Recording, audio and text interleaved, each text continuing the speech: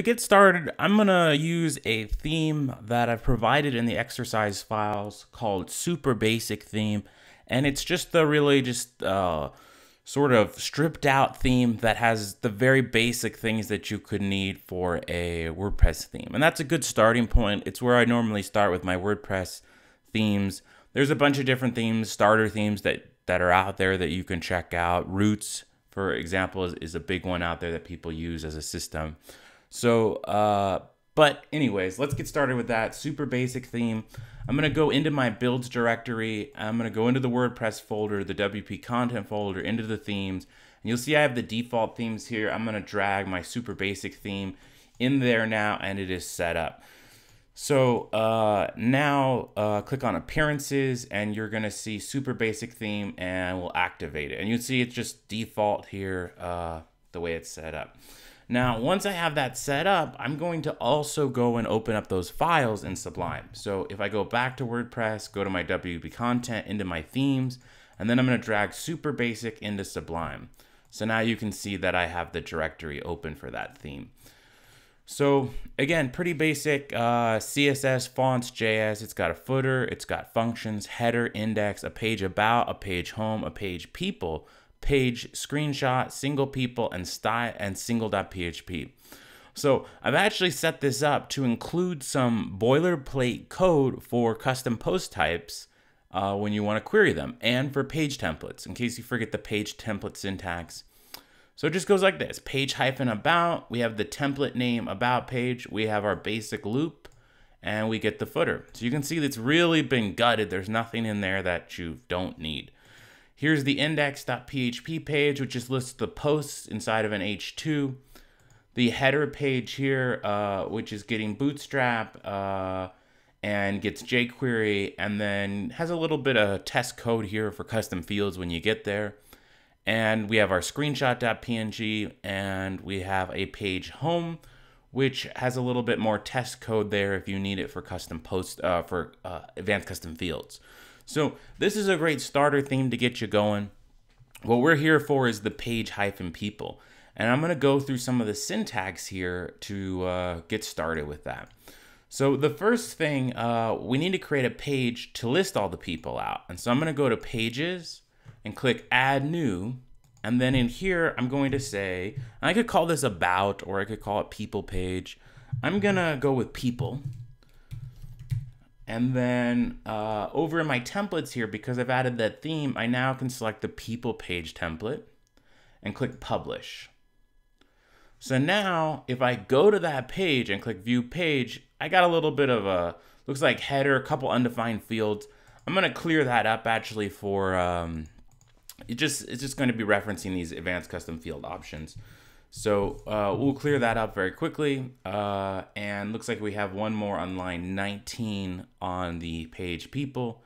And that would be this line here, uh, which we can remove as well.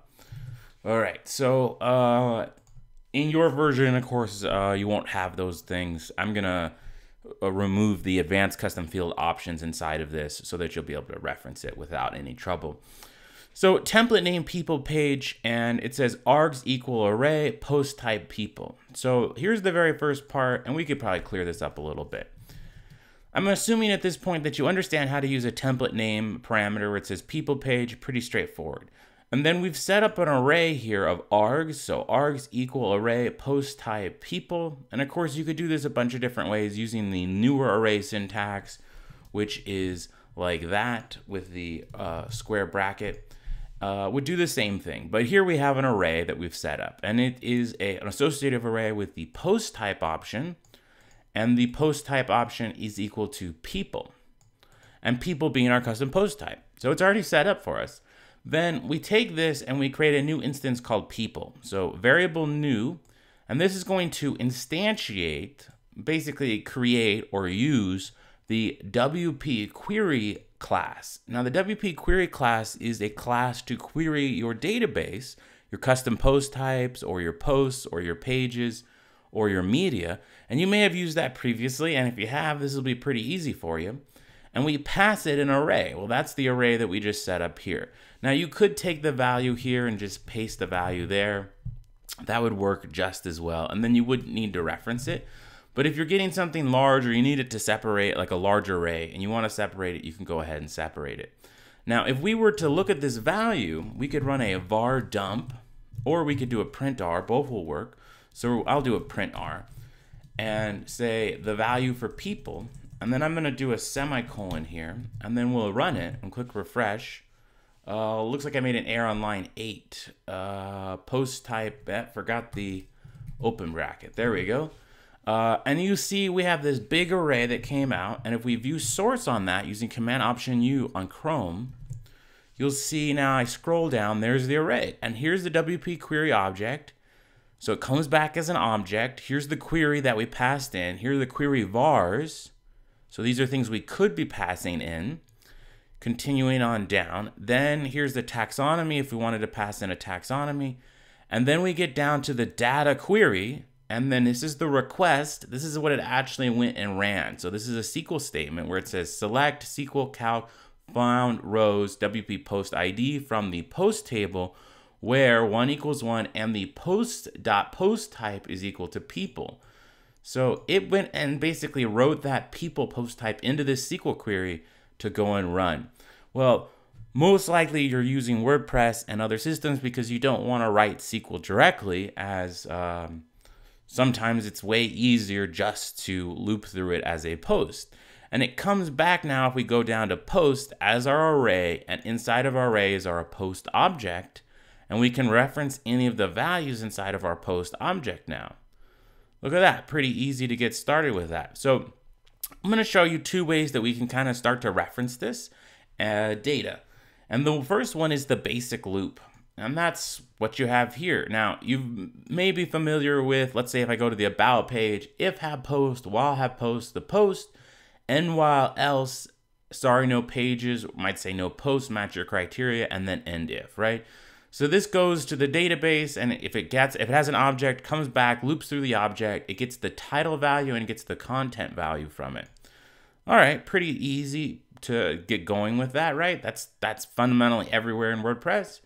If I go here, instead of just saying have post, I'm going to pass in the people variable that we've set up with this new object to the have post method. So people have post, while people have post, people, the individual post, and then get me the permalink and get me the title from the post and while and if. Now I didn't do an else. Uh, if you needed to run an else statement, basically you don't have any people, you could go and run an else statement in there. So that's one way to go and reference it. Another way, and that's the standard sort of way to do it. Another way is if you look at your object here where it says WP query, you have that object and you went all the way down to data query, and you'll see the data query kind of lines up, and we click on posts. Let's try this one out. And I'm going to say people, and let's go to the posts, and we'll refresh. Uh, and now we're at the post object space individually.